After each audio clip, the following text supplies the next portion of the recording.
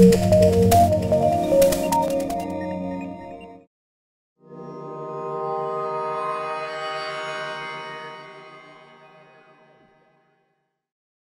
often hear the comment that anodizing is cheaper than coating. But it really depends on what standard of anodizing and what standard of coating is being applied. The gold standard for anodizing is the British standard, which calls for a 25 micron fully sealed anodized layer. There are no other standards which call for that.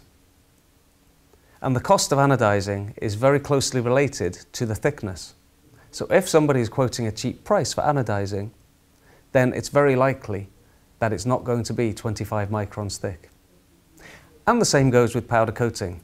You can get the one-year Florida system relatively cheaply, but it isn't going to look good in the long term. And it would be better to specify a five or 10 year standard. There are many myths about powder coating and about anodizing of aluminium profiles for facades. The truth is, if they're specified correctly, then there will be a cost, but the benefit will be a long-term attractive facade. Further information about powder coatings and comparison with anodizing is available on our website. There's also interponbuildings.com which is the world's only online track record of buildings that have been coated with powder coatings.